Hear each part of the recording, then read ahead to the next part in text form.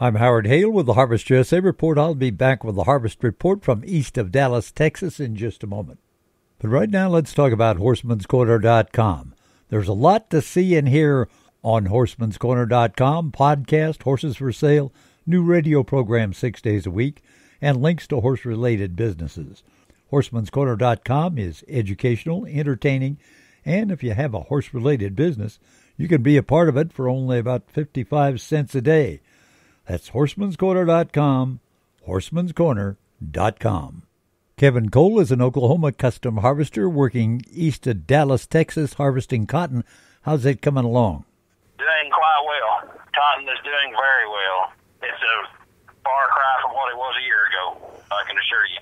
What kind of yields are you coming up with on that cotton? Two and a half, probably, bales per acre. For dryland cotton, that's pretty good. And how are the conditions for the harvesting? Excellent at present. Forecasting three to four inches of rain tonight. That's not real good, but uh, it's been good for the first three days. Were you able to get quite a bit knocked out in those three days?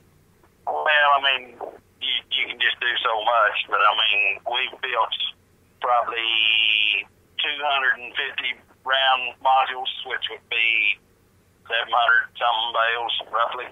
Any idea on the quality? Well, no, nothing's been ginned. I have no idea so far, but um, just with what it looks like, I feel it will be good.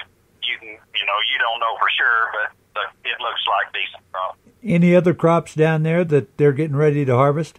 Milo is is already over with. We just we finished it about a week and a half ago. Dryland, uh, 52, 5,300 pounds. Kevin Cole, harvesting east of Dallas. Thanks for joining us. Great to have you along. May God bless. Join us again, won't you? I'm Howard Hale.